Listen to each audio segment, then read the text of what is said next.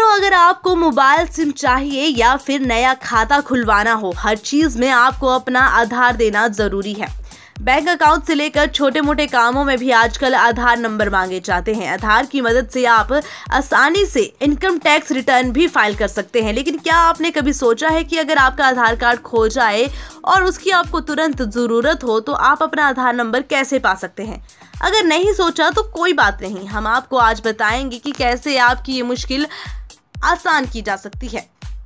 IDI ने हाल ही में एक ट्वीट कर बताया कि कोई भी व्यक्ति घर बैठे अपना आधार पा सकता है। इसके लिए बस आपको resident U I D I dot G O V dot in find U I D EID पर जाना होगा। यूआईडीआई की ट्वीट में लिखा है, आधार गुम गया, चिंता की बात नहीं। इस पेज में resident dot U I D L dot G O V dot in find U I पर जाएँ और अपना आधार कार्ड दोबारा डाउनलोड कर लीजिए। इसके अलावा आप अपने पास के आधार सेंटर पर जाकर फाइंड आधार सर्विस का प्रयोग कर अपना आधार पा सकते हैं। अपना आधार कार्ड डाउनलोड करने के लिए सबसे पहले आपको resident dot U I D A I dot G O V dot in या फिर find U I D E I D पर जाना होगा, जिसके बाद आप यू आई डी आई के ऑफिशियल पेज पर पहुँच जाएँगे।